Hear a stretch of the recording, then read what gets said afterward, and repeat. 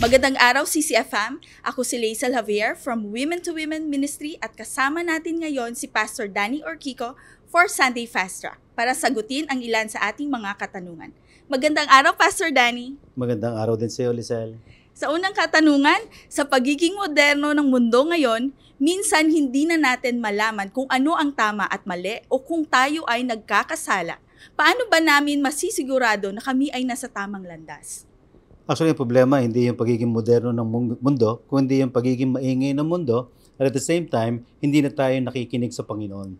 But uh, if we will really be faithful ng pagkakaroon ng oras para sa Kanya, saliksikin ng Kanyang salita at layunin para sa atin, habang lumalapit tayo sa Panginoon, magkakaroon tayo ng conviction uh, na madaling makapagsasabi sa atin kung yung ginagawa natin ay ayon sa Kanyang kalooban o hindi ayon sa Kanyang kalooban. Mas malapit, mas naki- naririnig si Diyo- ang Panginoon. Salamat, Pastor Danny.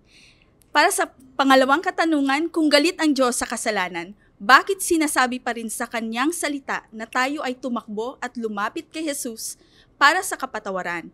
Paano po namin ma-connect o i-reconcile ang dalawang katotohanan na ito? Alam mo, sinasabi naman doon, galit ang Diyos sa kasalanan, hindi sa makasalanan. Kaya nga namatay ang kanyang anak na si Jesus para sa atin upang tayong makasalanan ay magkaroon ng kaligtasan. That's why kapag ka tayo ay nahuhulog, kapag tayo ay nagkakasala, ang nais ng Diyos ay magpakumbaba lang tayo at muling manumbalik at humingi ng kapatawaran sa ating mga nagawang kasalanan.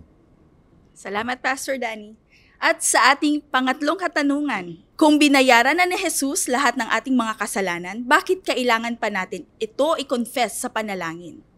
Alam mo, hindi naman sinabi doon na hindi na tayo magkakasala. Bagkus, dahil sa ating bagong relasyon sa Panginoon, tayo ngayon ay makakaiwas ng unti-unti mula sa pagkakasala. Sinasabi rito that God is faithful and just na magpapatawad sa atin if we will confess our sins. Yung confession actually ay pagpapakumbaba sa harap ng Diyos na tayo ay nagkamali at sinasabi natin sa Kanya na tayo ay nagkamali, tayo ay ah, nakasira o nasira natin ang ating pangako sa Kanya, pero hindi naman na, na, na ah, sinasabi doon na hindi na tayo mahal ng Diyos. So yun lang, kinakailangan lang tayo mag-confess, magpakumbaba at humingi muli ng tulong at kapatawaran mula sa Kanya.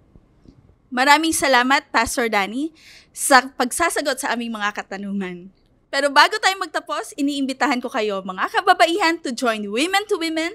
Ito ay nagaganap every Thursday, 10 a.m. dito sa CCF Center or via our Facebook page and YouTube channel. And that's it for Sunday Fast Track. Paalam and God bless! Salamat.